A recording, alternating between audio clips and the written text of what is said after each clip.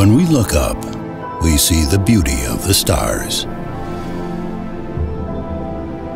A dazzling light show that fills us with wonder.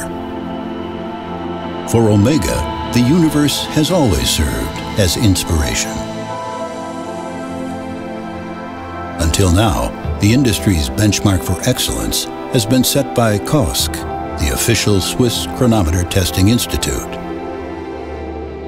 Using this as a starting point, Omega has reached new standards of precision, doubling their certification with METAS, the Swiss Federal Institute of Metrology. Eight intensive tests are carried out over 10 days. First, the movement, then the final watch, is placed within one of the biggest permanent magnets on Earth, proving its function under magnetic fields of 15,000 Gauss. To simulate real-life conditions, the watch is then examined in six different wearing positions and contrasting power reserves, checking for any deviation.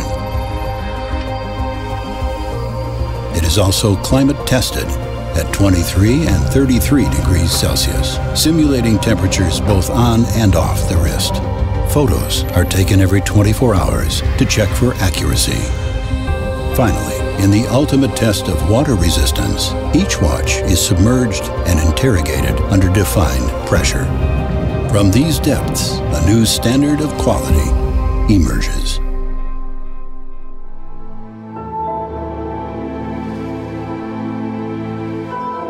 Omega Globemaster, the world's first master chronometer.